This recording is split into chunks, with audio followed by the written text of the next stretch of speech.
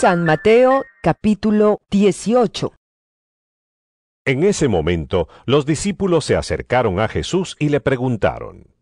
¿Quién es el más importante en el reino de los cielos? Él llamó a un niño y lo puso en medio de ellos.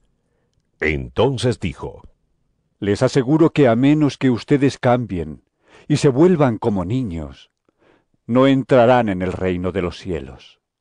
Por tanto, el que se humilla como este niño, será el más grande en el reino de los cielos. Y el que recibe en mi nombre a un niño como este, me recibe a mí. Pero si alguien hace pecar a uno de estos pequeños que creen en mí, más le valdría que le colgaran al cuello una gran piedra de molino y lo hundieran en lo profundo del mar. Ay del mundo por las cosas que hacen pecar a la gente.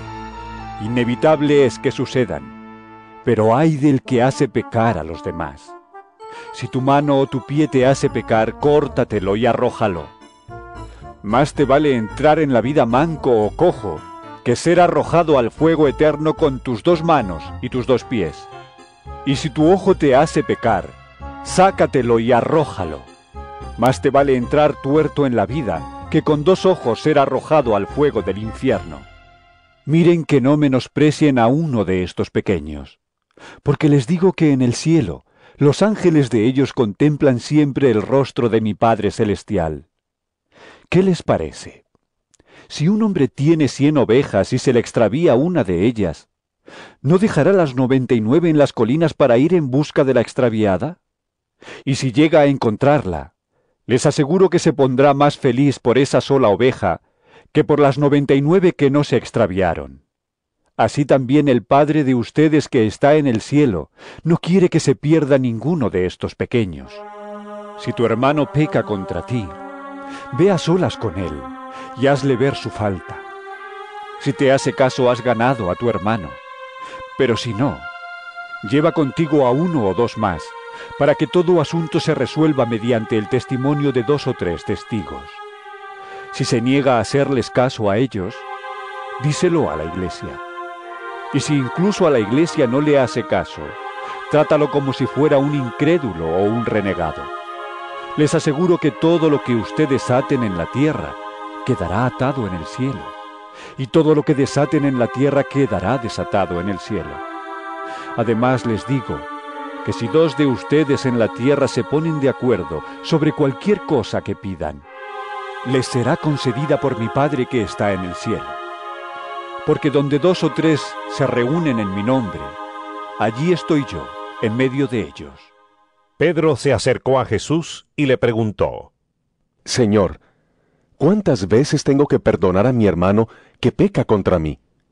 ¿Hasta siete veces? No te digo que hasta siete veces, sino hasta setenta y siete veces.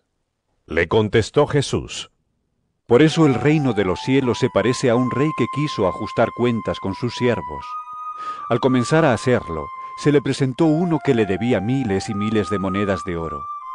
Como él no tenía con qué pagar, el Señor mandó que lo vendieran a él, a su esposa y a sus hijos, y todo lo que tenía para así saldar la deuda. El siervo se postró delante de él. Tenga paciencia conmigo, le rogó, y se lo pagaré todo. El Señor se compadeció de su siervo, le perdonó la deuda y lo dejó en libertad. Al salir, aquel siervo se encontró con uno de sus compañeros que le debía cien monedas de plata. Lo agarró por el cuello y comenzó a estrangularlo. Págame lo que me debes, le exigió. Su compañero se postró delante de él.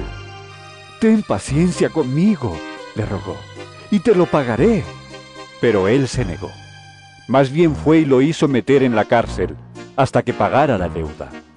Cuando los demás siervos vieron lo ocurrido, se entristecieron mucho y fueron a contarle a su señor todo lo que había sucedido. Entonces el señor mandó llamar al siervo. Siervo malvado, le increpó. Te perdoné toda aquella deuda porque me lo suplicaste. ¿No debías tú también haberte compadecido de tu compañero, así como yo me compadecí de ti? Y enojado, su señor lo entregó a los carceleros para que lo torturaran hasta que pagara todo lo que debía. Así también mi Padre Celestial los tratará a ustedes, a menos que cada uno perdone de corazón a su hermano.